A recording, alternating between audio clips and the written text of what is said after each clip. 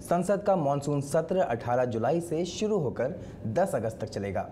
इस बार ये मानसून सत्र मात्र 18 दिनों का होगा। केंद्रीय संसदीय कार्य मंत्री अनंत कुमार ने इसकी जानकारी दी। वर्षाकालीन सत्र, monsoon session of the parliament, वो हम जुलाई 18 से शुरू करेंगे और अगस्त 10 तक वो सत्र को चलाएँगे। यानी ये 18 दिन का सत्र होगा।